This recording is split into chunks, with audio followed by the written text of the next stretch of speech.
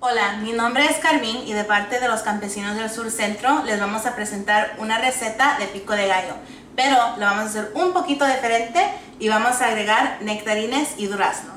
El pico de gallo es un aperitivo que acompaña a varios platillos mexicanos. El nombre tomó forma por la manera en la cual la gente lo comía. Cuando lo pellizcaban, los dedos tomaban la forma de un pico de un gallo.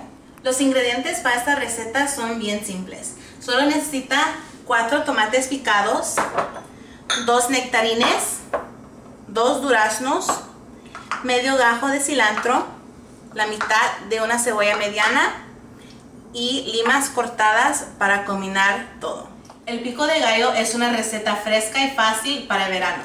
Lo único que necesitaría aparte de los ingredientes sería un bol grande que pueda contener todo. Y ahora para completar la receta vamos a mezclar todos los ingredientes. Empezamos con los nectarines,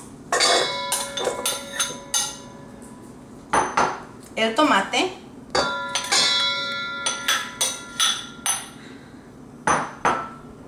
los duraznos,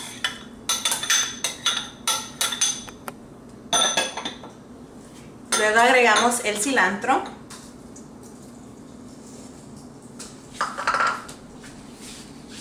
la cebolla,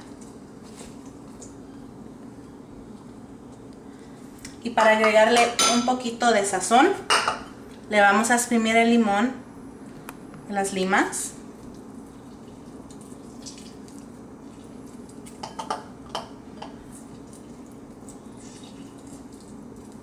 Y sal y pimienta al gusto.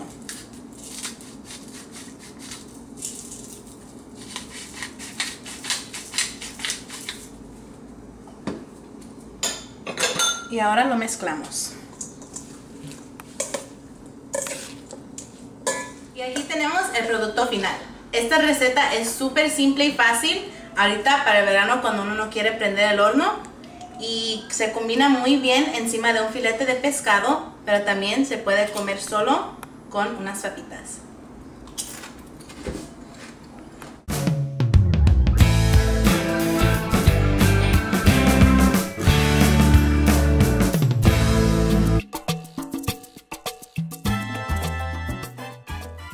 Vamos a presentar una receta típica de pico de gallo, pero no, that was wrong. Go.